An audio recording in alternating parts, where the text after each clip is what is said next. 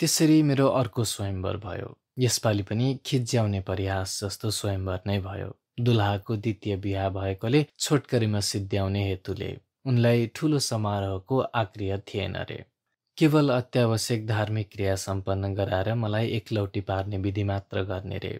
यसपालि पनि माला साटासाट र विडम्बना पनि कस्तो कि यसपालि पनि शिवलाई नै साक्षी राखेर उनको पशुपति जङ्गलमा म भने चेतना शून्य जस्ती थिएँ यो दोस्रो पटक। आमा पनि डेरामा चेतना शून्य भएर लडिरहनु भएको थियो रे वेदनाले। अरू भन्थे छोरीको मायाले तर मैले बुझेकी थिएँ कुन धार्मिक वेदनाले उहाँ आहत भएर बिछ्यौनामा समातेको समातै रहनुभयो। जुन दिनदेखि म बतुबुद्धि भएर सहारा र सहायताका लागि भनेकी थिएँ म गर्भवती छु आमा। स्वयम्वरपछि म अर्काकी भएँ र लगत्तै अर्काको घरमा भित्रिन पुगेँ बिहाको रात प्रत्येक नारी सायद राजी हुन्छे त्यसैले त उसका लागि त्यो रात त्यस्तो आयोजना हुन्छ। मेरो बिहा जस्तो सुकै छोटकरीमा सिद्ध्याएको भए पनि मेरो मधुयामिनी नसिद्धिने एउटा काल रात्रि थियो जसलाई धुप र फुलहरूको गन्धले मात्र मलिन पार्न सक्ने त्यस्तो झकझकाउँदो बासगृहको अग्लो सैया। मेरो त्यस्तो मानसिक स्थितिमा पनि मलाई लाग्यो कि त्यहाँका यावत वस्तु नग्नता मलिनता र धुमिलतामा निमग्न थिए। एउटा यस्तो कुरुचिले व्याप्त थियो वातावरण जस्तो कि केवल प्रेम शून्य यौनको आदान प्रदानमा हुन्छ। यी सब कुरा त मैले भोलिपल्ट पो सम्झेको कि वेश्यालयको कुचस्थित फोहोरी मैलो धब्बाले भरिएको जस्तो त्यो थियो अन्तपुर। त्यसैले त पवित्र हुनका लागि कति बेरसम्म लगाएर त्यस बिहान मैले नुहाएकी थिएँ। कुनै पनि मलिनताको धब्बा शरीरमा रहन नपाओस्। पवित्र नै रहोस् यो मेरो शरीर जहाँ केवल तेह्र रात्रि पहिले एउटा सुचितम दैवत्यले प्राण प्रतिष्ठा पाएको थियो। धरातल शैचल स्नान गर्दा मैले आफ्नो शरीरलाई लक्ष्य गरेर भनेकी थिएँ यो मेरो इष्टदेवले टेकेको ठाउँ हो तीर्थस्थल। हे प्रभु यसलाई पवित्र रहन देऊ। बिहाको रातमा यस्ता कुनै विचार आएका थिएनन्। भाव शून्य भएकी थिएँ म विवाहको बाक्लो पहिरनको किच्चिँदै कुन्नी कसको सहाराबाट बिछनासम्म पुगेकी थिएँ। मलाई पुर्याउने व्यक्तिको हातको सहाराबाट छुट्टिने बित्तिकै म तल भुइँ बिछ्याउनामा त्यसै आफूलाई थाम्न नसकेर एक डल्लो भएर थुप्रिएँ। एकछिनपछि दुलहा आए। दुलहा किनभने उनले बडो स्वाधिकारसँग मलाई उठाएर बिछौनामाथि लगे। सैयाका उप फेरि म एउटा थुप्रो भएँ। लाग्थ्यो ममा कुनै किसिमको शक्ति बाँकी थिएन। मेरो शरीर यावत जोर्नीहरू लल्याक लुलुक थिए। उनले मेरो चिउँडोलाई हातले उचालेर मेरो मुखमाथि पारे र मेरो शरीर पनि आफ्नो अनुकूल तुल्याएर भने कान्छी प्यारी मलाई आश्चर्य त्यस समयमा केही पनि लागेन। उनले भने किन नबोले कि प्यारी? कस्तो लाज? के को लाज? लज्जा मलाई पटक्कै थिएन। लज्जा पनि त भावनाको एक प्रकारको प्रतिक्रिया हो।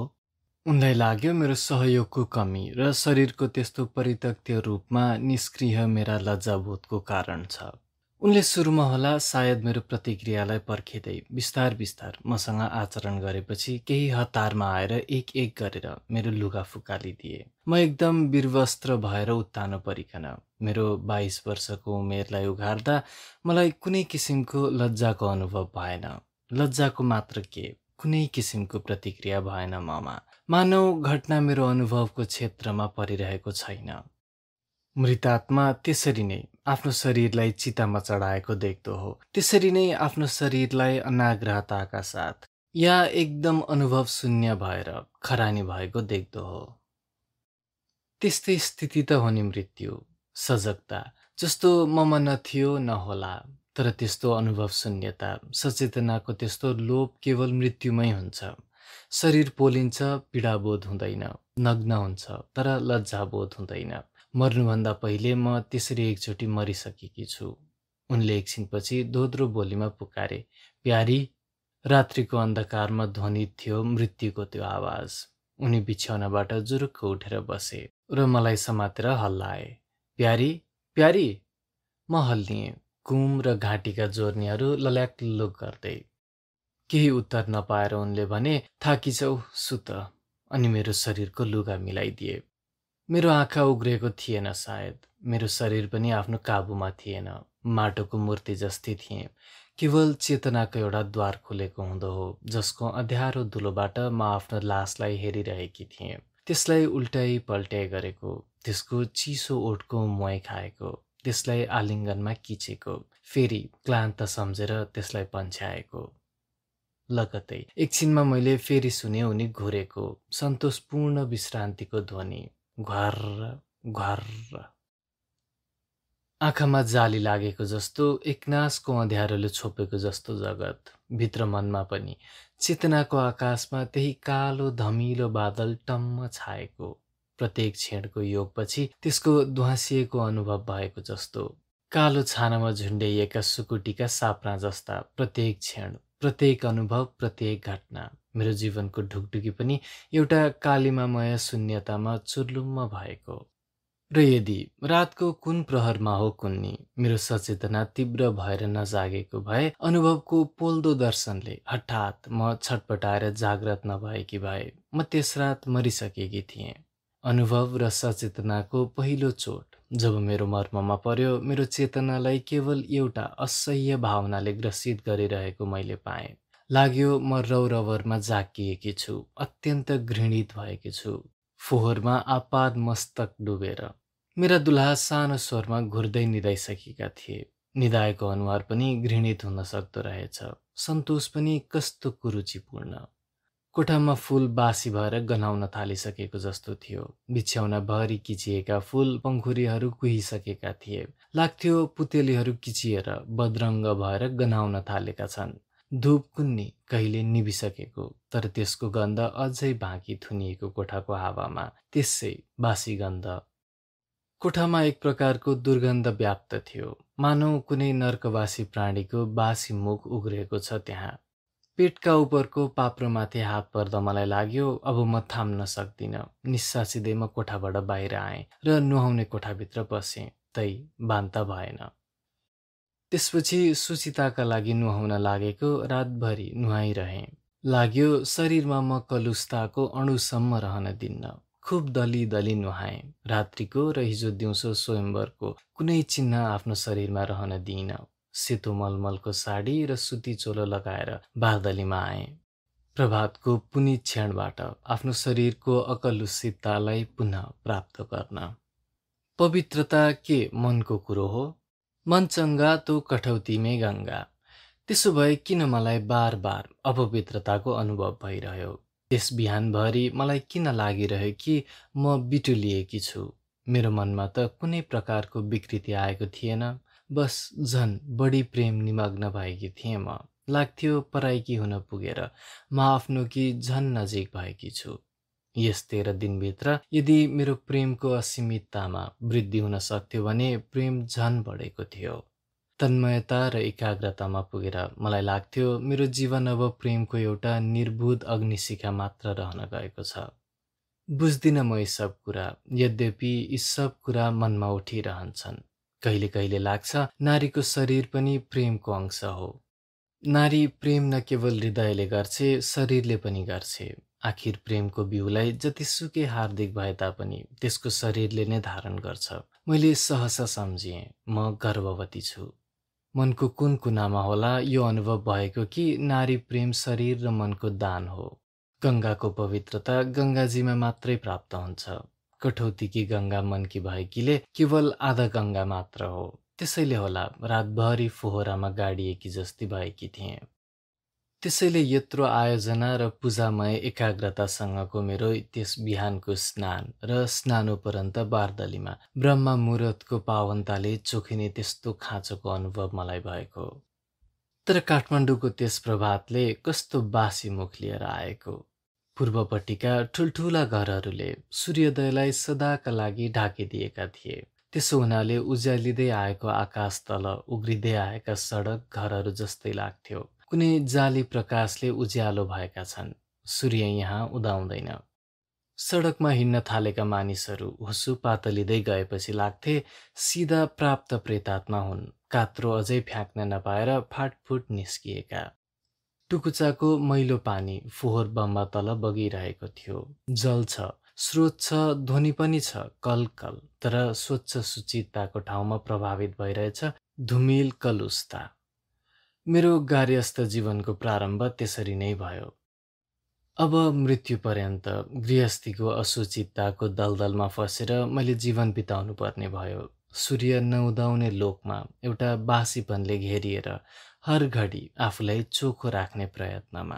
रोज बिटुलिनु पर्थ्यो र रोज म आफूलाई धोइपुछी गरेर पवित्र राख्थेँ। र यस कुराको सन्तोष थियो कि मैले शरीरलाई अपवित्र हुन दिएको छैन। मेरो गर्भमा रहेको बिउले लाग्थ्यो छेड छेड हुर्किरहेको सन्तानले कोखको एउटा क्षुद्र स्थानबाट नै पनि। मेरो तमाम देहका उप कुनै मन्त्रले यही एउटा पावनताको आभा मडिदिएको छ। लाग्थ्यो गर्भवती नारी कलुषित हुन सक्दिन।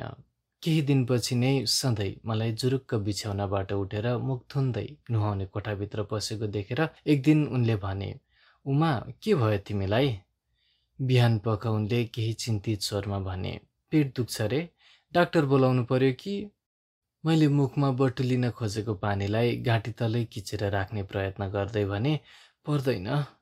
काठमाडौँले बिहानको बासी मुख भाइरहेको थियो। बारदली बाहिर बिहानको चिसोमा लटपटिएको रातभरिको बाफिलो गन्दगी। गर्मीको याम तर गर्मीको राप नभएको। गुम्म बाफिएको तातो मात्र सेलाइसक्न थालेको जस्तो। मैले थाम्न नसकेर थुक र र्याल पेटबाट उम्रेर आएको हावाको गुब्बारालाई एउटा वाक्कको ध्वनिमा बार्दलीबाट बाहिर फ्याँके। गिद्धको बिस्टा जस्तो त्यो तल भुइँमा फ्यात्त छरियो। मैले उनीपट्टि पटक्कै ध्यानै नदिएर फनक्क फर्केर कोठाभित्र आएँ। उनी अन्यल मानेर उभिरहेका होलान्। तर के कहिले उनले मलाई प्रत्येक राति आफ्नो फोहोर पसिने आलिङ्गनमा राख्न बिर्सेर अन्धो प्रागैतिहासिक भुइँमा पेट खस्रेर हिँड्ने थुतुने जनावरले समातेको जस्तो मलाई चिप्लो त्यही पासामा नाकमुखबाट बाफ र च्याठिएको ध्वनिको मुस्लो ओकल्दै त्रास वा भय थिएन मलाई त्यस जङ्गली पड्काइमा। घृणाको आवेश पनि बटुल्न सक्दिन थिएँ। लाग्थ्यो फोहोरको दलदलमा मैले उद्धारको केही प्रयत्नमा हलचल गरेँ भने झन झन फोहोरमा भाँसिनेछु। त्यति पनि सजगता थिएन क्यारे मेरा सारा चेतनामा। केवल असुचिताको भाव व्याप्त थियो। तर यो पनि होइन कि मैले गृहस्थीलाई भावशून्य भएर नै सही स्वीकार गरेँ। विरोधको हातगोडा नचालेर पत्नीत्वको दैनिक प्रवाहमा आफूलाई छाडिदिएँ। अह त्यसो गरिन। सुरु सुरुमा विरोधका साना ठुला प्रदर्शनले मैले त्यस सानो गृहस्थीमा पर्याप्त हलचल पनि ल्याएकी थिएँ। मेरा सादा एकदम वैध स्वरूपलाई लक्ष्य गरेर दुल्हाले भनेका थिए किन कान्छी किन त्यस्तो उदास पहिरन गरे कि आवश्यकताभन्दा बढी उत्तेजनामा आएर भनेकी थिएँ के दुलही हुँदैमा मैले आफ्नो सानोतिनो इच्छाको पनि इतिश्री गर्नुपर्छ? दासी छु भन्दैमा के मेरो हृदयका तमाम इच्छाको लोप भएको छ र? यति भनेर उठेर कोठाबाट फुत्त बाहिर आएँ। उनी कोठामा एउटा अनौठो ध्वनि अत्यासको झिकेर बसिरहे। एक दिन मैले आफ्ना सारा लुगाफाटा नोकर चाकरलाई बाँडिदिएँ। उनले विस्मयमा सोधे के गरे कि? मैले अकारणमै व्यङ्ग्य गरेर भने देखि बक्सदैछ के गरिरहेकी छु? उनले मेरो क्रोधलाई बुझेर शान्त स्वरमा भने तर ती लुगाफाटाहरू किम्ती छन्। उनलाई सस्तो बलियो घरकाज गर्दा हुने किसिमको लुगा दिए भइहाल्छ नि। मैले व्यङ्ग्यलाई त्यागेर उनको मर्मलाई लाग्ने गरी भने यी मैले माइतीबाट ल्याएका कपडा हुन्। तपाईँको घरको छोए कि छैन? उनले फेरि अत्याहाटमा आएर भने ल ल जे मन लाग्छ गर। यो घर पनि तिम्रै हो मेरोभन्दा बढी। को हुन् उनी? जसको मैले यसरी विरोध गर्न थालेँ। गृहस्थीको पहिलो केही दिन त मैले उनलाई देखेकै थिइनँ। फोहोर कुराको ठुलो चिसो भानले भरिएको भास बाहेक कुहेको दलदल जसको आलिङ्गनलाई म भासमा जाकिएकी भन्थेँ। व्यक्ति भनेर देखेको थिइनँ। प्राणी भनेर सोच्दा पनि जसको कल्पना मेरो मनमा केवल त्यस्तो थुतुनुको हुन्थ्यो जो तितो ज्वाला र अमानवीय ध्वनि मात्र झिक्थ्यो। दलदलमा निवास गर्ने कुनै जनावर पेटबाट घस्रिने।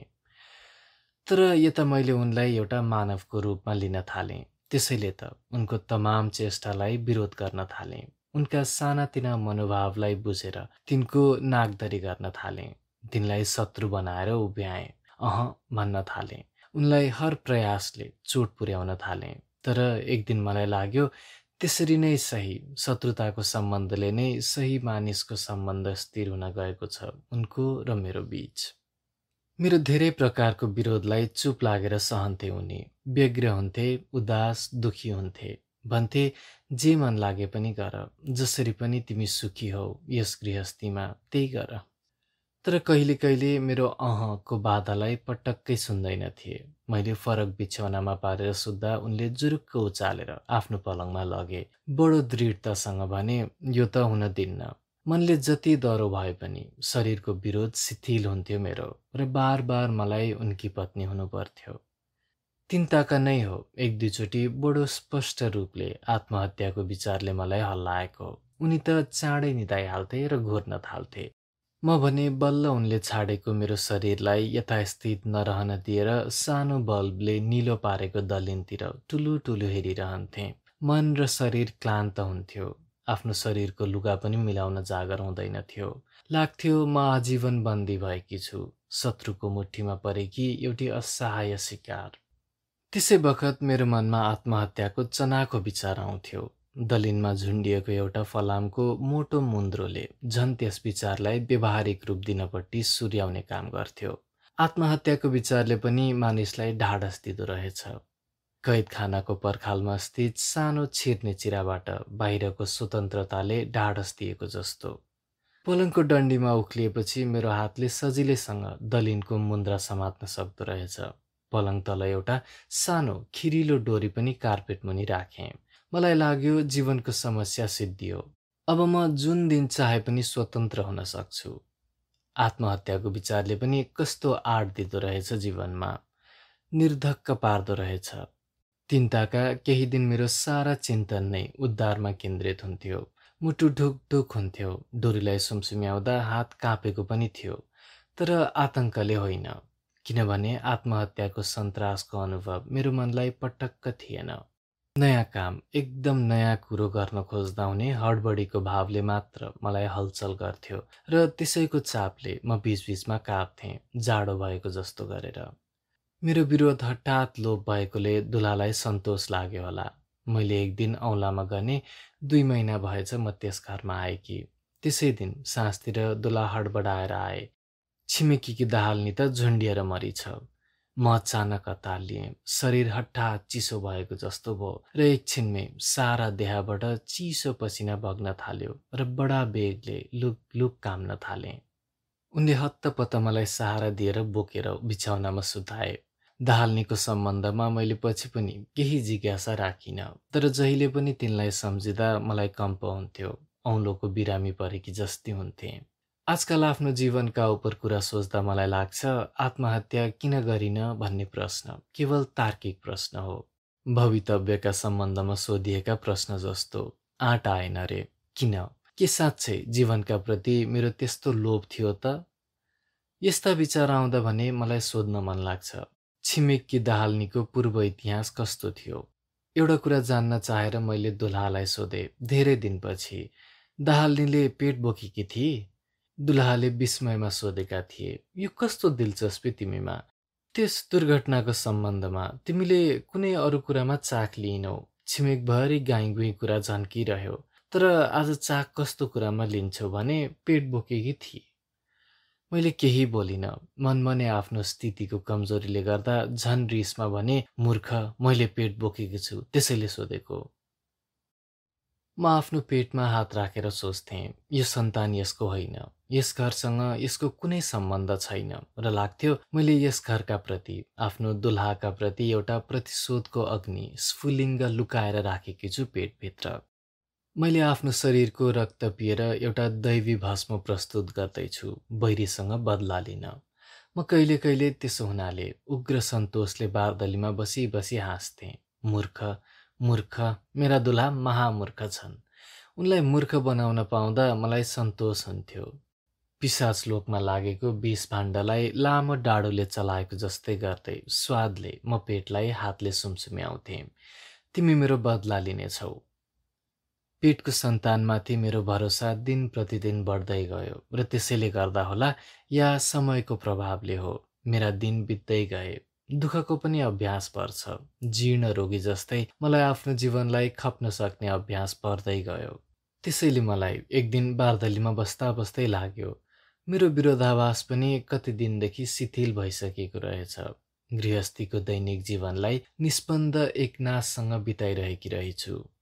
मुटुको भित्री तहमा पेटको बालकले सान्त्वना दिइरहेको हुँदो हो र दिन प्रतिदिन बिताइरहेको जीवनले ममा गृहस्थीका प्रति अभ्यासगत आचरण मेरो व्यवहार नजादिदो किसिमले उनको अनुकूल हुँदै गएको रहेछ। कुनै उत्साह या उमङ्गका साथ होइन। केवल अभ्यासबाट प्राप्त भएको रित्तो व्यवहार। अब हाम्रो बीच कुनै प्रकारको सानो ठुलो खटपट हुँदैन थियो। उनको तर्फबाट त कहिले पनि भएको थिएन। मेरो तर्फबाट अब त्यस्तो आचरण नभएको धेरै भएछ जसलाई देख्दा म घृणाले जर्जर हुन्थेँ। अब म तिनको सानो सानो इच्छालाई बिना कुनै सङ्कोच पुरा गरिदिन्थे र भन्थे उनले सोद्धा पत्नीलाई पतिको सुखमा नै सुख हुन्छ त्यस दिन बारदलीमा आफ्नो परिवर्तित रूप देखेर झल्यास लाग्यो। नियतिको आज्ञाको मबाट पालन भइरहेको छ।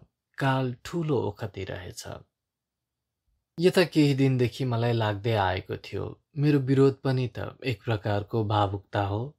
भावुकता मैले बुझ्दै आउन थालेकी थिएँ कि कस्तो छिपछिपे हुन्छ। आँसु कस्तो निष्फल पीडा नै कस्तो निष्प्रयोजन। जीवनको यात्रामा केही काम आउँदो रहेनछ। केवल समयले लगाइदिने गरेको मलहम बाहेक त्यसको मृत्युदा बाहेक। दर्शनको निरर्थकता सङ्गीत कविता कला धर्म त्यो त पराजित व्यक्तिको उहापुह मात्र हो। तमाम कुरा निष्प्रयोजन रहेछन्। होला जीवनलाई रङ्गीन तुल्याउँदैनन् तिनले तर तिनबाट जीवनलाई पोषण प्राप्त हुँदो रहेनछ। ती त्यस्ता भोज्य पदार्थ होइनन् जसबाट प्राण धान्न सकियोस्। काल मात्र ठुलो ओखती रहेछ। मैले अठोट गरेँ नियतिको अवज्ञा म गर्दिनँ अपरिहार्यतासँग सहयोग गर्छु। मैले सजग भएर यो अठोट गरेकी थिएँ। तर मेरो आत्मा र शरीरले त मेरो बुद्धिको सतहमा कुरा ल्याउँदै नल्याई भित्रभित्रै अठोट गरिसकेका रहेछन्। त्यस दिन झल्यास थाहा पाएर मेरो बुद्धिले त्यसलाई स्वीकृति प्रदान मात्र गरेको थियो। त्यसै दिन मलाई लागेको थियो कि असुचितताको भावले मलाई ग्रस्दैन थियो। शून्य थियो हृदय तर त्यहाँ असुचितताको बोध थिएन। दुल्हाप्रति प्रेम थिएन हो। तर अब घृणा भाव पनि त रहेनछ। लाग्यो। घृणा असुचितताको एउटा अभिव्यक्ति रहेछ। मैले पेटको बालकलाई सम्झिएँ। कहाँ छ उसको स्थान मेरो परिवर्तित व्यवहारमा? के त्यसको परोक्ष निर्देशन त थिएन मेरो जीवनका प्रति? उदासीन भए पनि बन्दै गएको सन्तुलनमा? सन्तानको नजन्मिएको सन्तानको पनि आमाका उप कत्रो प्रभाव पर्छ। त्यसको ज्ञान कसलाई छ? सन्तानले नै त नारीलाई माता तुल्याउँछ। माता नारीको एउटा विशिष्टताले भरिएको छुट्टै रूप हो। मनसा बाचा कर्मणाले छुट्टै भएर अवतीर्ण हुँदै गएको रूप। भन्न त भने कि मेरो जीवनको मध्यम गति घटना शून्य भएर एकनाथसँग बगिरहेको थियो। उत्तेजना पीडा व्यथा घृणा र आवेशबाट अब एकदम रित्तिएर। जीवनको दैनिक गति त्यस्तै हुन्छ। कालको प्रभाव भएको लक्षण कतै पाइँदैन तर काल बितिरहेको हुन्छ। तर त्यस्तो जीवनमा पनि जतिसुकै साधारण घटना ती भए तापनि कुनै न कुनै घटनाले यस प्रकार मनलाई आन्दोलन गर्छ कि जीवनमा देखिएका दृश्य भोग्दै आएका अनुभवले एकदम नयाँ अर्थ प्राप्त गर्छ। अनि लाग्छ काल स्थिर रहेनछ। म भित्रबाट प्रभावित भइरहेको कालले त्यहाँ पनि मेरो ठुलो परिवर्तन गरिसकेको रहेछ। मैले पेटको बालकको कुरा गरेको होइन। दिनहुँ त्यसको प्रतीक्षा गर्दा पनि मलाई कालगतिको बोध त्यसले गराएन। त्यो त एउटा अचल काल नियतिबाट नछोइएको मेरो शरीरमा गढेर बसेको थियो। एउटा अमर आशाको रूपमा जसले मेरो अध्यारो जीवनमा नअस्ताउने सूर्यलाई उदाइ राखेको थियो। त्यो तिन महिनाको भयो भन्ने बोध त मैले परोक्ष रूपबाट पाएँ। एउटा साधारण घटनाको मार्फत। जुन घटनालाई म आफ्ना अनुभव योगले अर्थ दिन किसिमका अनुभव मध्ये मान्दछु। मेरो घर सानो गृहस्थी थियो दुल्हा र म र नोकर चाकरहरू जो काम परे मात्र हाम्रो लङपट्टि आउँथे। दुल्हाका कोही इष्टमित्र थिएनन् क्यार उनी धेरैजसो घरमै बसिरहन्थे मेरो नजिकै। म आफ्नो जीवनलाई खुम्च्याउनसम्म खुम्च्याएर घरको सानो कुनालाई ओगटेर रहन गर्थेँ। दिनभरि बारदलीमा र राति दुल्हासँग उनको बिछ्याउनामा माइतीहरूसँग पनि मेरो कुनै सम्बन्ध रहेको थिएन। चिठीपत्र जे जति हुन्थे दुल्हाले नै गर्थे। मेरो बिहा भएको तिन दिनभित्रै उनीहरू पहाड गए। दाइले खबर सुनाउनु भएको थियो कि आमा थला परेको परे हुनुभयो। उहाँलाई काशी पठाउने रे। मेरो जीवनमा तिनताका आएको तुफानले गर्दा म आफू नै यति लिन रहन थालेकी थिएँ कि मैले आमाको पछि केही खोज खबरसम्म लिन खोजिनँ। माइतीलाई चटक्क बिर्सिएकी छु। त्यसो त माइतीलाई सम्झिराख्ने पनि केही कुरा थिएन नि। बालककाल मैले त्यहाँ एकल काटी भएर बिताएँ।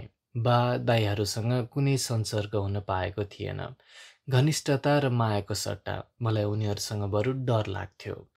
मेरो गाउँमा साथी सङ्गाती थिएनन् केवल आमा हुनुहुन्थ्यो जोसँग म त्यहाँ टाँसिएर बस्थेँ।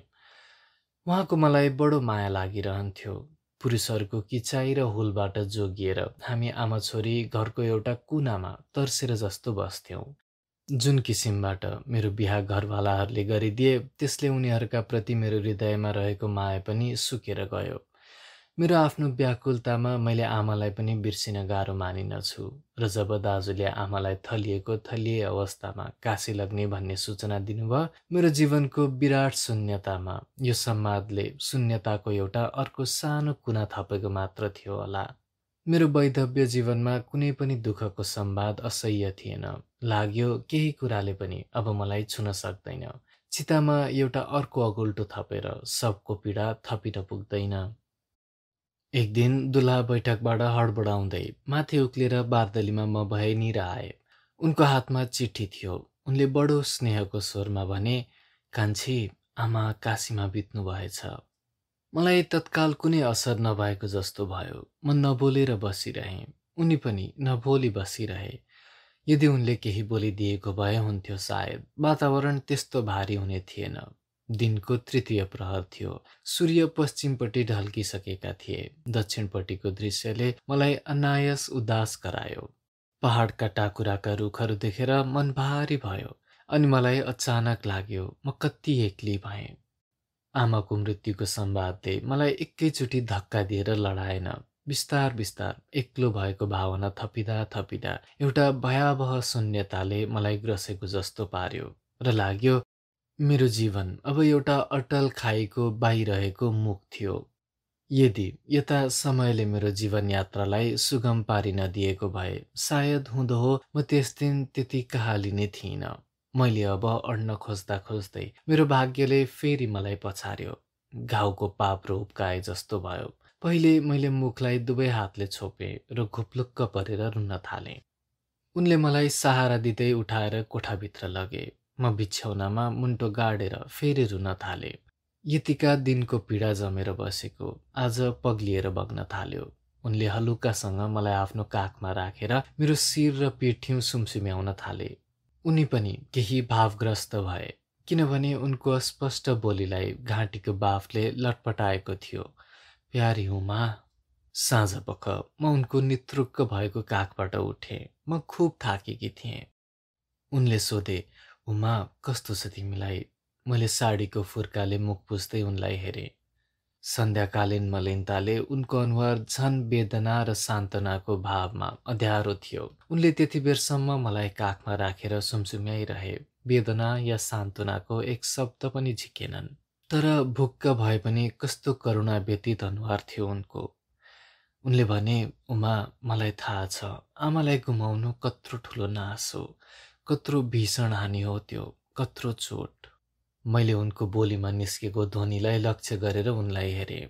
भन्न त उनले भनेका थिए तर लाग्यो ती शब्द उनको मर्मबाट आएका सान्त्वनाका शब्द हुन् जुन सान्त्वनामा आत्मीयताको अंश पनि रहन्छ। उनले भने यस्तो स्थितिमा रुन बाहेक कुनै चारा छैनौमा। त्यसैले मैले तिमीलाई सम्झाउने व्यर्थको प्रयत्न गरिनँ। फेरि छोरीले चढाएको आफ्नो आँसुको अर्घ्य जल मलाई लाग्यो आमाले जहाँ भए पनि पाउनुपर्छ। उमा प्यारी म यस्तो कुरामा बडो धर्मभिरु छु। मृत्युका सम्मुख मेरो धर्म भावना र विश्वास जागृत हुन्छ। उनले फेरि भने आमा खसेको दिन म पनि खुब रोएको थिएँ। यसैलाई मैले घटनाको संज्ञा दिएँ कि? एकछिनमा उनले मलाई बिछौनाबाट उठाएर भने आमाको आत्मालाई अर्घ्य दिन कहिले पनि पुग्दैन। तर उहाँलाई तिमीले आफ्नो जीवनका प्रति उदासीन भएको पनि मन पर्ने छैन। उठ मुख हात धो दुखैले भए पनि जीवन काट्नै पर्छ। मलाई लाग्यो उनको बोलीमा स्नेहको आवाज छ र कुरामा कस्तो ढाडस र भर। उनमाथि पुरा भर दिँदै म उठेँ र त्यसरी नै उनको पाखुरालाई समातेर नुहाउने कोठामा आएँ र मुख धुन थालेँ। पानी उनैले खन्याइदिए। त्यस रात उनले मलाई बिछौनामा भने म चुप बसेको देखेर उमा तिम्रो आमा स्वर्गीय भएको दिन यो भनेर सान्त्वना दिन सक्थेँ कि उमा म छँदैछु आमा रहनु भएन तर म त छु तर म त्यो भन्न सक्दिनँ किनभने पति भएर पनि पतिको अधिकार स्वर जिक्न सकेको छैन मैले तिमीसँग प्रेमको कमीले होइन तर हो कुनै कमीले हाम्रो सम्बन्धमा आमाको रिक्त स्थान झन् थप किन म लिन सक्थेँ? उनले यो भन्नु पूर्व नै मैले पहिलोचोटि उनमाथि आफूलाई जिम्मा लगाएको जस्तो गरेर पाखुरा समात्दै म नुहाउने कोठामा गएकी थिएँ। अनायस फेला परेको आधार जस्तो भएको थियो उनको बाखुरा त्यसरी आधार पाएको कुरा स्पष्टसँग बुझेकी थिइनँ तबसम्म जब उनले राति भने म परचक्री जस्तो तिम्रो जीवनमा बाहिर बाहिरै रहन गएको छु। भन्न त मैले त्यसमा केही भनिनँ। मेरो हातले त्यसै उनको पाखुरालाई छुन पुग्यो। एकछिनसम्म उनले लगाएको जन्तरलाई खेलाइरहेँ। तर मैले त्यस रात बुझेँ उनको जीवन पनि कति शून्य रहेछ त्यही घटनाले अनि मलाई धेरै कुरा खुलेको जस्तो लाग्यो। मानौ एउटा नयाँ प्रकाश उनमाथि परिरहेको छ र नयाँ रूपले उनी मेरा अगाडि परिरहेका छन्। त्यस रातभरि उनका कुराहरू मैले सम्झिन थालेँ। यस तिन महिनाभित्र उनले गरेको व्यवहारका एक एक स्मृतिहरू मेरो मस्तिष्कमा झाक्दै आए।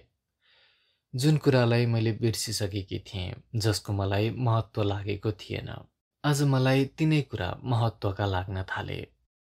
मलाई लाग्न थाल्यो म कति आफूमा एकाग्रिएकी रहेछु आफ्नो दुःखमा कति लिन आफ्ना प्रति मात्र कति स्वार्थी कि एउटै सैयाको साझीदार भएको व्यक्तिको अस्तित्वको पनि मलाई ज्ञान थिएन। केवल यस घरमा आएको सुरमा केही दिन उनलाई शत्रुका रूपमा देख्ने सिवाय मेरो जीवनको शून्यसँग टाँसिएको अर्को शून्य पनि रहेछ। मलाई त्यस रात दुलाप्रति असीम ममता जाग्यो। आमालाई उम्काएको दिन मैले थाहा पाएँ मेरा दुलहा कति एक्ला रहेछन्। उनले मर्माहात स्वरमा भर्खरै भनेका थिए म त परेचक्री उनले एक दिन भनेका थिए त्यसै बिना कुनै सन्दर्भको मानव आफैलाई सम्बोधन गरिरहेका हुन्। तर जुन कुराको अनुभव मलाई यस अर्धवयस्कमा हुन थालेको छ त्यो हो प्रेमको निस्सारता। प्रेमले जीवनका कमजोरीहरू बाधा विग्रह र चोटहरूलाई निको पार्न सक्दैन रहेछ। कि प्रेमको अभावको अनुभव हो? कि उमा यो मेरो उदासी मेरो उमेरको असर हो? आज बुझ्छु उनले के भन्न खोजेका थिए त्यस दिन। उनले एक दिन मध्यरातमा भनेका थिए कान्छी म बुढोले तिमीलाई बिहा गरेर तिम्रा प्रति अन्याय गरे। हाम्रो पति पत्नीको जीवन साधारण भइसकेको थियो। त्यसो हुनाले उनको त्यस भनाइमा मैले त्यस दिन केही महत्त्व दिएकी थिइनँ। या देखेकी थिइनँ ती शब्दमा। उनको अभावग्रस्त जीवनको सुकेको अनुहार। मैले चोलोको तुना बुन्दै केवल उत्तर दिने हेतुले भनेकी थिएँ स्त्री पुरुषको उमेरको तुलना हुँदैन। हामी स्वास्नी मानिसको जिउ एउटा नहुन्जेल त हो नि। उनले सानो उच्छावन झिकेर भनेका थिए उमा हाम्रो पच्चिस वर्षको फरक कुनै तर्कले पनि मेट्न सक्दैन। परिहास पनि गरिदिन्थे म। मलाई किन लज्जित पार्न चाहेको हजुरले? हजुरको ठुलो प्रेमको प्रत्युत्तर त्यस्तै किसिमको मबाट पाइबक्सन्न भनेर नत्र किन बार बार हाम्रो उमेरको चर्चा? उनले भने मलाई लाग्छ उमा हाम्रो दाम्पत्य जीवनमा हामी छुट्टिएका छौँ कहीँ कतै। एउटा कुनै भेदको वारपार हामी उभिएका छौँ। यो भेद हाम्रो उमेरको हो। खाई हाम्रो उमेरले खनेको हो हाम्रो बिचमा। म जिउको लुगा सच्याएर अर्कोतिर पल्टेर सुतिदिएकी थिएँ। उनी पनि एकछिन त्यसै लेटेर निधाएका थिए। त्यस रात बार बार किन यस्तै कुरा सोचिरहन थालेँ म। मेरो प्रत्येक स्मृतिले नयाँ नयाँ रूप उनको मेरा सामुन्य उपस्थित गर्न थाल्यो। म झन झन मग्नताले भरिन थाले दुलहाका प्रति। ममता करुणाको बार बार उठिरहने उद्रेक। जुन उनका कुराले मलाई पहिले पट्टाइ लाग्थ्यो निरस्तामा झन विरक्ति थपेको जस्तो हुन्थ्यो। आज तिनलाई सम्झेर आफैलाई धिक्कार्न थाले। म कस्तै कृपण रहेछु। उनले कुन खाँचोले मसँग बार बार आफ्नी पहिलेकी पत्नीको चर्चा गर्नु पर्थ्यो के को भिख थियो जसलाई म आफ्नो कृपण मुठीले उनलाई दिइराखेकी थिइनँ? प्रेमको अधिकार ग्रहण थिएन भने के त्यसको माग पनि थिएन? उनले आफ्नी पहिलेकी दुलहाईलाई बार बार सम्झेर आफ्नो प्रेम शून्य जीवनलाई भिकारीको जस्तो मेरा सामुन्ने राखेको थिएन र उनले कि करुणा र दयाले नै सही म उनको झोली भरिदिउँ। एक दिन उनले स्पष्ट र छोटकरीमा त होइन तर मैले राम्ररी बुझ्ने गरी भनेका थिए मैले तिमीलाई बिहा गर्ने निर्णय गर्दा जेठीलाई बिर्सेर यो निर्णय लिएको थिइनँ। म सायद यो कुरा बुझाउन सक्दिनँ क्यार। तिम्रा दिदीलाई बिर्सेर होइन धेरै धेरै सम्झेर उसको मायाले विभाल भएर तक्षण उनले यो पनि भनेका थिए तिमीलाई सम्पूर्ण व्यक्तित्वले माया गर्छु। फेरि उनी उति नै खेरै भन्न थालेका थिए तिमी नै भन कान्छी जब तिमी दुलहाई भएर यस घरमा आयो के पहिले हाम्रो चिन्जनसम्म पनि थियो? जेठीले शून्य पारेको मेरो जीवनमा आधारको तलासमा तिमीलाई मैले बिहा गरेको हुँमा त्यस दिन किन हो कुन्नी? उनी भारी मिजाजमा थिए क्या र मलाई निन्द्रा लागिरहेको थियो। उनले सधैँको जस्तो मलाई आफूसँग टाँसेनन्। न पत्नीको कर्तव्य पुरा गर्न मलाई कर लगाए। उनी भन्दै गए मेरो प्रतिक्रियाको ख्यालै नराखेर यो पनि ध्यान नदिएर कि बिउजिएकी छु निधाइसकेँ। प्रेमका सूक्ष्म प्रक्रियाहरू पहिले नै कसलाई ज्ञान हुन्छ? अचिन्त्य कदम चालिसकेपछि लाग्छ प्रेमको प्रेरणाले चालिएको सो कदम हो। साधारण प्रेमको प्रक्रियाहरूको सायद निरूपण गर्न सकिन्छ र त्यसको भविष्यका सम्बन्धमा मनोवैज्ञानिक भविष्यवाणी पनि गर्न सकिएला। जेठीको प्रेमको ओतप्रोत भएको व्यक्तित्व मेरो नभएको भए मेरो समस्त अस्तित्वलाई त्यसले पहिले नै सरल नपारेको भए हुनसक्छ म रडुवा नै भएर जीवन बिताइदिन्थेँ। आखिर पैँतालिस वर्षको पुरुषलाई अविवाहित रहन केही गाह्रो पर्दैन। यस प्रकार मैले त्यस रात पुराना स्मृतिहरूलाई उकासिरहेँ घाउका पाप्रा उक्काइरहेँ आमाको मृत्युको संवादले म भावग्रस्त भएकी थिएँ। त्यस मानसिक स्थितिमा पतिका प्रतिको मेरो व्यवहारलाई सोच्दा मलाई बडो पश्चातापको अनुभव हुन थाल्यो। त्यसैले होला आफूलाई दोषी साबित गरेर दण्ड दिनका लागि मैले स्मृतिका पाप्रा उप्काइरहेकी रातभर। प्रत्येक स्मृतिले मेरो करुणाहीन हृदयलाई पश्चातापको एक चाबुक हान्थ्यो। आत्मपीडनले मलाई केही न केही सन्तोष र सुख दिन्थ्यो लाग्थ्यो। सन्तोष र सुख यस कुराले छ कि प्रेम दिन सकिन। तपनि त आफ्नो त्यस असमर्थतालाई स्वयं दण्डित भइरहेकी छु। यो के भएको हो कुन्नी? बुझ्न सकिन। पश्चातापको यत्रो बाढी किन? आमाको मृत्युको संवादले मेरो हृदयको कुन बाँधलाई तोडिदियो? कति सोच्दा पनि बुझ्न सकिन। पश्चातापको यत्रो बाढी किन? आमाको मृत्युको संवादले मेरो हृदयको कुन बाँधलाई तोडिदियो कति सोच्दा पनि बुझ्न सकिनँ रातभर सोचिरहेँ। भन्छन् जीवन अज्ञानमा भोगिँदै जान्छ। भोगको क्षण बित्दै गएपछि तिनको सम्झनामा भोगको ज्ञान हुँदै जान्छ। अनुभव अज्ञानमा प्राप्त हुन्छ। ज्ञान अनुभवको समाप्तिपछि। तर यो मेरो त्यस रातको पश्चाताप स्मृतिको दर्शन कस्तो ज्ञानको सूचक थिए त? क्षण क्षण गरेर तिन महिना जति यस घरमा बिताइसकेकी रहेछु। नजाँदिदो किसिमबाट केवल सहचार्यको स्वाभाविक नियमबाट मैले यस घरमा पनि सानो सानो जरो हालिसकेकी रहेछु क्या र सम्बन्धको अदृश्य भावलोकमा। एउटा घटनालाई पर्खिरहेको मात्र रहेछ जसबाट मलाई यसको बोध होस्। आमाको मृत्यु त्यस्तै घटना थियो। स्मृतिका उप एउटा आकाश टाढासम्म फ्याँक्दै जाने। त्यसैले त जब मैले सोचेँ उनको के दोष मेरो दुर्भाग्यका लागि? मलाई लाग्यो मेरो उनका प्रतिको यो अचानक जागृत भएको संवेदना अनौठो थिएन। उनको के दोष? उनको के दोष? यस वाक्यलाई मनमा धेरै बेर खेलाइरहे। तर उनलाई दोषबाट मुक्त गरेपछि म आफै दोषी साबित हुन पुगेँ। लाग्यो निर्दोषीलाई मैले सजाय दिइरहेकी रहेछु। त्यसैले पश्चाताप थियो मलाई त्यस रात।